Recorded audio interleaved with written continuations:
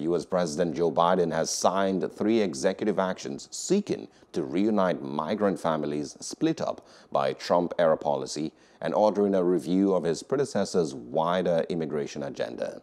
In, attempt, uh, in an attempt rather to deter illegal immigration, President Donald Trump's administration separated undocumented adults from children as they crossed the U.S.-Mexico border.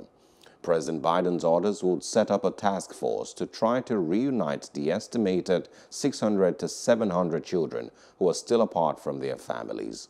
The Trump administration split up at least 5,500 children from adults along the border between 2017 to 2018.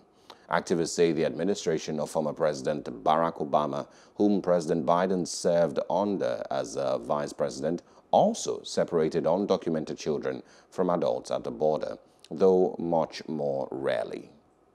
This is about uh, how America is safer, stronger, more prosperous when we have a fair, orderly, and uh, humane legal immigration system.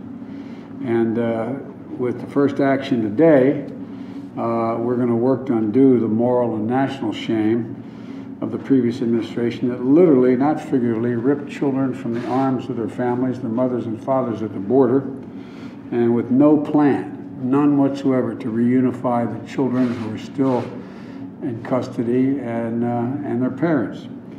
The second action addresses the root causes of our migration to our southern border. And the third action, the third order I'm going to be signing, orders a full review of the previous administration's harmful and counterproductive immigration policies, uh, basically across the board. And so with that, I'm going to sign the first order which is a reestablishment of the interagency task force and the reunification of families. Hello, hope you enjoyed the news. Please do subscribe to our YouTube channel and don't forget to hit the notification button so you get notified about fresh news updates.